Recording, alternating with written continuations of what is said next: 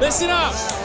This young lady here is running the marathon for Brigham and Women's Hospital. So skip around Estella and donate to a good cause.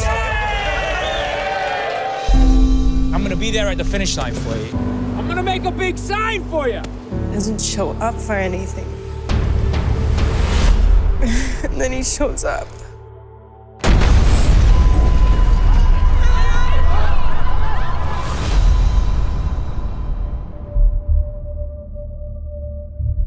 There was an explosion, and your legs, they're gone, bro.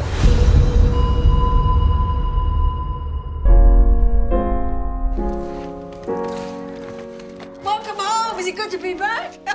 What are you doing? Uh, talking to you. What are you doing? Dancing. You're trying to make a hero out of me? You need to tell your family what's going on with you. Take my mind, take my pain. I can't do this. I can't. I can't. I can't do it. This is the first time you're in this week and you had three appointments. You just have to show up for Show up! once. I showed up for you! You remind me of my son. He died. Helping you made me feel like I helped my son. And for that, I am grateful.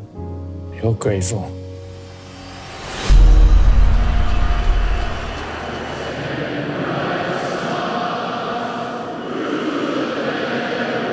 You showed the world that they can't break us no matter what the hell they do. There was this time in the hospital when like I just want to give up. and we'll rise Look at this. Boston Strong. And now I just want to live. I just want people to see how amazing my son is. I'm gonna walk. You know, I'm gonna walk with you again someday.